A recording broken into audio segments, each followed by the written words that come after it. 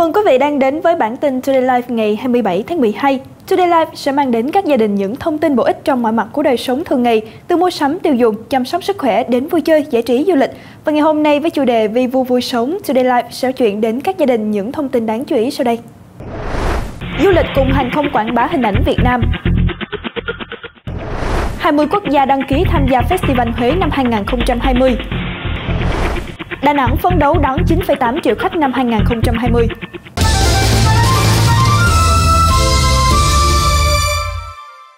Thưa quý vị, Tổng cục Du lịch vừa ký biên bản hợp tác chiến lược giai đoạn 2020-2022 về quảng bá xúc tiến du lịch với hãng hàng không quốc gia Việt Nam, Vietnam Airlines. Năm 2019 là năm du lịch Việt Nam bội thu với các giải thưởng tầm khu vực và trên thế giới như điểm đến di sản hàng đầu thế giới 2019, điểm đến gold tốt nhất thế giới 2019, điểm đến hàng đầu châu Á, điểm đến văn hóa hàng đầu châu Á và điểm đến gold tốt nhất châu Á. Dự kiến du lịch Việt Nam tiếp tục đạt tăng trưởng khoảng 15%, đạt mục tiêu do Thủ tướng Chính phủ giao là thu hút 18 triệu lượt khách quốc tế. Việc ký kết biên bản hợp tác chiến lược này là cơ sở quan trọng để hai bên phối hợp đẩy mạnh quảng bá, giới thiệu hình ảnh đất nước, con người du lịch Việt Nam ra thế giới, góp phần tạo ra nhiều sản phẩm, dịch vụ hấp dẫn, chất lượng, đặc biệt kết nối Việt Nam với thế giới gắn với những điểm đến mà Việt Nam Airlines có đường bay trực tiếp. Thưa quý vị, theo báo cáo thường niên du lịch Việt Nam, đến nay Việt Nam đã có hơn 28.000 cơ sở lưu trú du lịch với trên 550.000 buồng. Trong số này có những khu nghỉ dưỡng được xếp vào hàng cao cấp đạt tiêu chuẩn sao của quốc tế, có đủ năng lực để phục vụ những đối tượng khách cao cấp. Thực tế, nhiều năm trở lại đây, Việt Nam đã có khu nghỉ dưỡng 4 năm liên tiếp nhận giải khu nghỉ dưỡng sang trọng bậc nhất thế giới tại lễ trao giải World Travel World, gọi tắt là WTA, khu vực châu Á châu Đại Dương năm 2019. Hàng loạt khu nghỉ dưỡng của Việt Nam ở Phú Quốc, Đà Nẵng, Sapa, Nha Trang được nhận giải thưởng do WTA trao tặng. Điều này cho thấy các cơ sở lưu trú du lịch của Việt Nam hoàn toàn đáp ứng tiêu chuẩn quốc tế, góp phần không nhỏ vào việc nâng cao chất lượng du lịch, hấp dẫn du khách quốc tế đến Việt Nam nhiều hơn. Theo thông tin từ ban tổ chức, đến nay đã có 20 quốc gia cử đoàn đăng ký tham gia biểu diễn tại Festival Huế năm 2020 sẽ diễn ra từ ngày 1 đến ngày 6 tháng 4 năm 2020.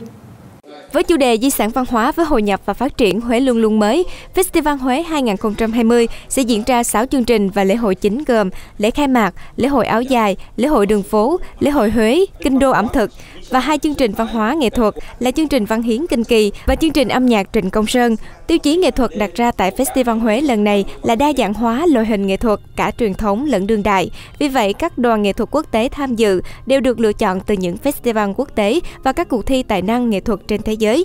Festival Huế 2020 đánh dấu quá trình 20 năm kể từ khi Festival Huế lần đầu tiên được tổ chức và trở thành một sự kiện văn hóa du lịch quốc gia có tầm quốc tế.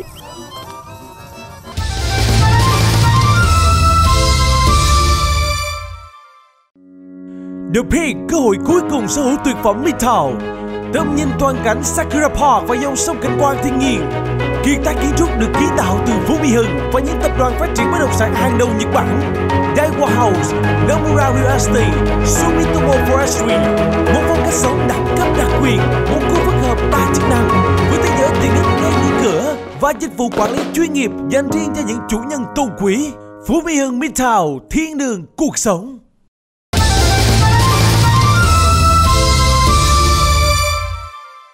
Thành phố Đà Nẵng đặt mục tiêu sẽ đón 9,8 triệu lượt du khách vào năm tới. Đây là con số được đưa ra tại hội nghị tổng kết và đề ra phương hướng phát triển du lịch năm 2020 vừa được tổ chức. Để đạt mục tiêu đón 9,8 triệu lượt khách, trong đó khoảng 4 triệu lượt khách quốc tế vào năm tới, Đà Nẵng tập trung xây dựng kế hoạch và đề xuất cơ chế chính sách phát triển kinh tế đêm trong lĩnh vực du lịch, thực hiện thí điểm phố đêm 24 trên 7 tại quận Ngũ Hành Sơn, đồng thời tập trung triển khai kế hoạch phát triển thị trường nội địa và kế hoạch đa dạng hóa thị trường quốc tế với các hoạt động xúc tiến trọng tâm tại các thị trường tiềm năng như Tây Âu, Nga, Úc, Bắc Mỹ và thị trường mới Ấn Độ. Theo báo cáo, năm nay tổng lượt khách đến tham quan du lịch Đà Nẵng là gần 8,7 triệu lượt, tăng 13,4% so với năm ngoái, trong đó trên 3,5 triệu lượt khách quốc tế, tăng 22,5%. Tổng doanh thu du lịch ước đạt gần 31.000 tỷ đồng. Thưa quý vị, Đà Nẵng đang vào mùa cao điểm đón khách tàu biển. Tháng cuối năm, cảng Tiên Sa thường xuyên có các tàu du lịch hàng sang cập cảng để đưa khách đi tham quan, mua sắm trong thành phố và các điểm đến lân cận. Trong tháng 12 này có khoảng 19 tàu biển cập cảng Tiên Sa, chở theo khoảng 16.500 khách đến tham quan thành phố Đà Nẵng. Trong đó có nhiều tàu du lịch hàng sang với sức chứa vài nghìn khách như tàu Worldstream, Westerdam. Đáng chú ý, tàu du lịch năm sao Costa Venezia của tập đoàn Costa Rui với sức chứa hơn 5.000 du khách và thuyền viên đã chính thức đưa vào khai thác hải trình thăm quyến Đà Nẵng. Dự kiến từ nay đến tháng 1, tàu Costa Venezia sẽ có 4 chuyến đến Đà Nẵng và từ tháng 4 năm 2020, tàu sẽ cập cảng Tiên Sa thường xuyên hơn. Sự nhộn nhịp của thị trường khách tàu biển đóng góp đáng kể vào mức tăng trưởng và chất lượng nguồn khách của Đà Nẵng. Ngành du lịch thành phố phối hợp chặt chẽ với các sở ngành địa phương liên quan trong công tác tổ chức đón tiếp, vận chuyển, quảng bá sản phẩm du lịch và đảm bảo an ninh an toàn tại điểm đến. Thưa quý vị, vừa qua, Ủy ban Nhân dân tỉnh Quảng Nam đã tổ chức Hội nghị Doanh nghiệp Du lịch năm 2019, từ đó đánh giá những kết quả nổi bật trong năm và đề xuất các giải pháp giải quyết kịp thời những vướng mắc, khó khăn của doanh nghiệp để du lịch phát triển bền vững.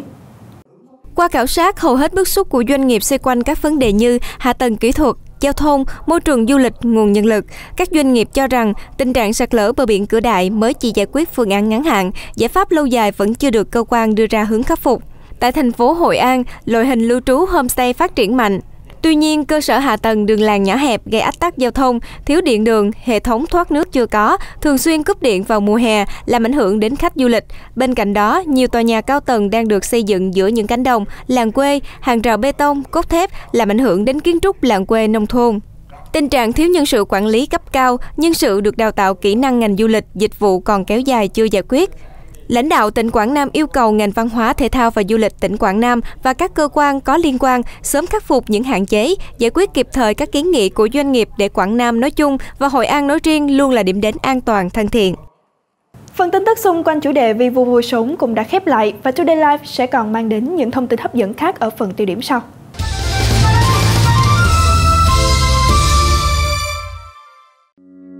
The Peak, cơ hội cuối cùng sở hữu tuyệt phẩm Midtown Tầm nhìn toàn cảnh Sakura Park và dòng sông cảnh quan thiên nhiên. Kiệt tác kiến trúc được kiến tạo từ Phú Mỹ Hưng và những tập đoàn phát triển bất động sản hàng đầu Nhật Bản. Daiwa House, Nomura Real Estate, Sumitomo Forestry, một phong cách sống đẳng cấp đặc quyền, một khu phức hợp đa chức năng với thế giới tiện ích ngay dưới cửa và dịch vụ quản lý chuyên nghiệp dành riêng cho những chủ nhân tôn quý. Phú Mỹ Hưng Midtown, thiên đường cuộc sống.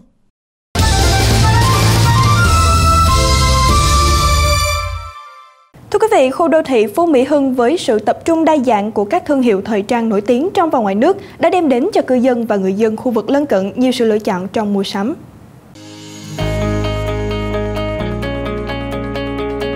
Là một khu đô thị văn minh hiện đại, Phú Mỹ Hưng đã và đang là sự lựa chọn của nhiều người dân trong và ngoài nước đến sinh sống, làm việc cũng như du lịch Bên cạnh những dịch vụ đa dạng từ ẩm thực vui chơi đến giải trí, làm đẹp, khu đô thị Phú Mỹ Hưng còn là nơi tập trung rất nhiều các thương hiệu thời trang nổi tiếng trong và ngoài nước, đáp ứng nhu cầu của các cư dân đô thị và khu vực lân cận là một trong những trung tâm thương mại nổi bật tại khu vực phía nam thành phố. Crescent Mall tập trung hàng trăm thương hiệu thời trang nổi tiếng như George and Kiss, Mango, Calvin Klein, Gap, H&M, Marks and Spencer, Armani Exchange, Bolly, Paul and Shark, vân vân. Bên cạnh việc đáp ứng nhu cầu mua sắm thường nhật vào mỗi dịp lễ Tết, các cửa hàng thời trang tại đây liên tục tung ra rất nhiều mặt hàng, bộ sưu tập mới để khách hàng có thể lựa chọn cho bản thân và gia đình.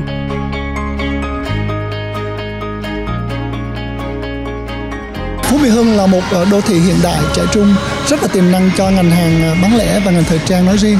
Việc có mặt ờ, cửa hàng của chúng tôi khai trương đồng loạt bốn thương hiệu tại trung tâm thương mại Crescent Mall là một cách để chúng tôi kết nối gần hơn với là khách hàng của mình. Và trong dịp Tết là mùa cao điểm cuối năm thì chúng tôi đã có rất là nhiều hàng ở đây bao gồm những cái hàng mới nhất, bộ sưu tập mới nhất xuân hè 2020 để phục vụ cho khách hàng ở đây. À, dạo quanh một vòng Crescent Mall thì tôi thấy là nó có nhiều mặt hàng chuẩn bị cho Tết mùa lễ hội này kia đa dạng đẹp. Tôi thấy ờ, ở đây mấy cái mặt hàng nó trưng bày phong phú và nó đẹp nữa. Ờ, nó hợp thời trang với lại ờ, mọi lứa tuổi. Những cái mặt hàng mà của chương trình khuyến mãi thì tôi thấy là cũng như thích hợp với lại mọi cái đối tượng là từ trẻ cho tới già vậy đó thì người ta cũng chuộng những cái à, mặt hàng mà khuyến mãi đó, giảm giá đó, là người ta thích. Tôi thấy là khi mà dạo quanh một vòng Fashion Mall này thì có rất là nhiều các mặt hàng hấp dẫn và thời trang cũng rất là đa dạng. Bên cạnh đó thì là tôi cũng thấy là có rất là nhiều cái cửa hàng có các khuyến mãi ờ, khá là phù hợp. Tôi rất là vui thích điều đó không chỉ tập trung ở trung tâm thương mại Preston Mall, nhiều thương hiệu thời trang nổi tiếng cũng đặt cửa hàng ở các tuyến đường trong khu đô thị Phú Mỹ Hưng, đem đến sự tiện lợi cho cư dân trong việc mua sắm. Một mùa xuân nữa sắp đến với sự đa dạng phong phú về thương hiệu sản phẩm, các cửa hàng thời trang ở Phú Mỹ Hưng chắc chắn sẽ đáp ứng tốt nhu cầu mua sắm của khách hàng, góp phần mang đến sự tiện nghi trong cuộc sống cho cư dân khu đô thị và các khu vực lân cận.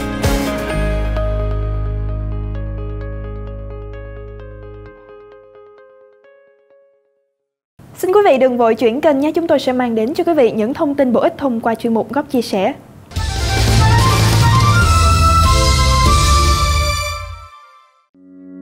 The Peak, cơ hội cuối cùng sở hữu tuyệt phẩm Midtown. Tầm nhìn toàn cảnh Sakura Park và dòng sông cảnh quan thiên nhiên. Kiệt tác kiến trúc được kiến tạo từ Phú Mỹ Hưng và những tập đoàn phát triển bất động sản hàng đầu Nhật Bản. Daiwa House, Nomura Real Estate, Sumitomo Forestry.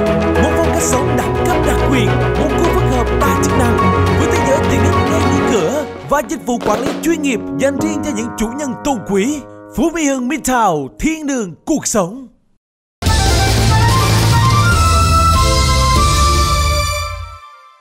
Những năm gần đây, ngành nail tại Việt Nam đã có bước phát triển nhanh chóng, không chỉ phục vụ nhu cầu làm đẹp của phụ nữ mà giờ đây, ngành nail đang chuyển mình trở thành một bộ môn nghệ thuật thực thụ.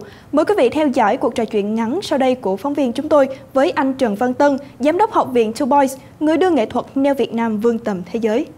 Xin chào anh ạ, à. cảm ơn anh đã nhận lời đến với buổi trao đổi ngày hôm nay. À, thưa anh thì à, thời gian gần đây là cũng có rất nhiều người à, nhắc đến cái khái niệm đó là hội họa neo. Vậy thì là một trong những cái chuyên gia trong lĩnh vực này, anh có thể chia sẻ rõ hơn về hội họa neo ạ? À? Khi mà anh rời bỏ kiến trúc để mà chính thân ờ, chính thức mà cái dấn thân vào ngành neo mình á thì lúc đó hội họa neo cũng đã tồn tại ở trên thế giới rồi. Nhưng thực chất đó, nó không nó không được phát triển ở Việt Nam mình. Trong khi người Việt Nam mình thì rất nhiều người tài giỏi và có thể làm phát triển cái hội họa neo này lên đến đỉnh cao nhất luôn. Thì tại sao à, mình lại gọi nó là hội họa neo tại vì à, trước đây người ta chỉ nghĩ với neo á, là làm những cái gì đơn giản nhanh những đường nét không cầu kỳ quá không mất thời gian nhiều quá và nó không tạo ra những tác phẩm giống như hội họa truyền thống. Mà khi em vào đây nghiên cứu thì em cảm thấy là tất cả mọi thứ mà hội họa làm được tất cả những cái gì mà họa sĩ làm được kiến trúc làm bên ngoài được thì mình vẫn thể vận dụng vào móng này làm được. Nó rất là hay. Thì từ đó anh sẽ vẽ ra những cái bức tranh chân dung giống như mình vẽ trên những cái bức tranh lớn hoặc trên giấy hoặc chúng ta có thể làm ra tạo những cái phù điêu người thật rồi à, ứng dụng lên trên móng luôn hoặc là có thể làm ra gọi ta gọi là bộ môn fantasy có nghĩa là nó tạo ra dựng ra hình những cái người những cái mô hình à, giống như búp bê hay là người thật đồ à, nó rất là giống thật mà tất cả là đều bằng dụng cụ của neo hết mà trong neo người ta có thể vận dụng mà làm mọi thứ uh, của hội họa. Nó chỉ là khác ở chỗ là nó rút ngắn và rút nhỏ là một mô hình rất nhỏ thôi. Nó đòi hỏi cái người nghệ sĩ người ta phải tập trung cao độ mà người ta có một độ tỉ mỉ rất là cao. Vậy thì uh, những chủ đề nào thường được uh, thực hiện ở trong hội họa neo và khi mà thực hiện thì uh, người nghệ sĩ cần phải chuẩn bị và thực hiện như thế nào ạ? À? gần như trong hội họa neo thì mọi chủ đề đều có thể thực hiện được ở trên đấy. Thực hiện những bức tranh phong cảnh à, thực hiện những cái tác phẩm à, vẽ tả thực về à, về động vật về người. Tất cả mọi thứ đều có thể làm được ứng dụng lên trên móng. À, có một cái à, điều khác biệt à, có một cái mà người ta phải lưu ý đó là hội họa neo không phải là bất cứ ai cũng có thể làm được mà người đó phải có cái kiến thức chuyên sâu về hội họa có cái mắt thẩm mỹ cao và độ tỉ mỉ cao thì tất cả những cái kỹ năng nó kết hợp lại với nhau thì mới tạo ra được một tác phẩm hội hội họa neo rồi à, nó đạt cái tầm thẩm mỹ cao nhất. Vậy thì à, hiện tại là cái mức độ quan tâm của nhiều người đối với cái hội họa neo này như thế nào ạ? À? à, dần dần thì con người ta họ làm neo á không đơn thuần là chỉ làm những cái bộ móng đơn giản nữa mà chính những cái người thợ neo bình thường họ bị cuốn hút bởi những tác phẩm kỳ công đấy họ cảm thấy là cái nghề họ bắt đầu có giá trị lên và họ thấy là à mình có thể làm được những tác phẩm như vậy luôn thì họ mới lao vào bị đam mê cuốn vào họ không những học những cái đơn giản họ còn học thêm những cái hội họa neo những cái rất là khó đó mặc dù những cái khó đó là nó không ứng dụng trực tiếp ở trên móng cho khách nhưng mà nó làm tăng độ thẩm mỹ, tăng giá trị của nghề neo và đẩy tên tuổi của những người thợ neo Việt Nam đi xa ở quốc tế hơn. À, rất cảm ơn anh về những ý kiến chia sẻ vừa rồi ạ. À. Chuyên mục góc chia sẻ vừa rồi cũng đã khép lại nội dung bản tin Tree Life ngày hôm nay. Hy vọng rằng các gia đình đã có những thông tin bổ ích cho gia đình mình. Xin chào tạm biệt và hẹn gặp lại quý vị trong các bản tin sau.